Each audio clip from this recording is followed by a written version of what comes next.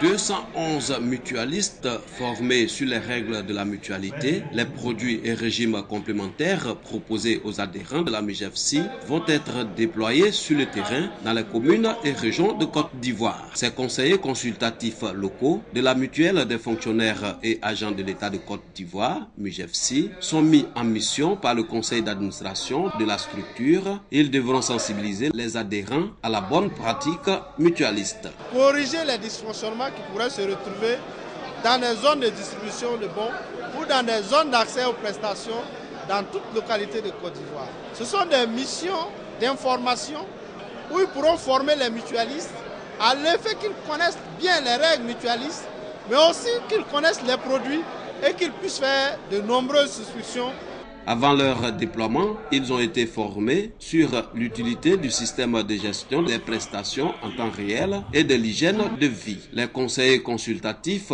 locaux disent être engagés à mettre en pratique les enseignements reçus.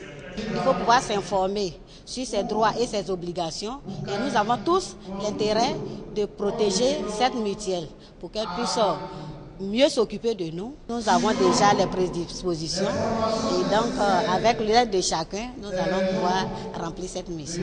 17 bureaux de conseil consultatifs ont été mis en place dans quatre régions et un district, à savoir les régions du Lot-d'Ibois, du Sud Komoé, de l'Ayebi-Tiassa, de la Mé et le district d'Abidjan.